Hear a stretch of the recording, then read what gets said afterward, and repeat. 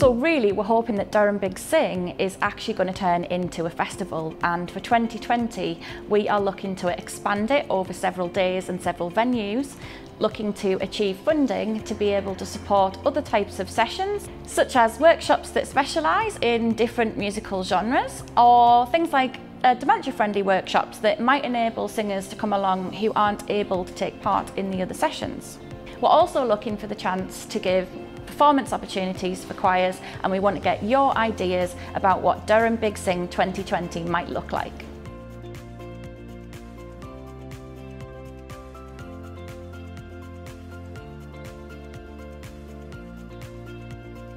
Why am I the singing elf? I'm the singing elf because I think elves are a little bit magical, helpful, mischievous and full of energy.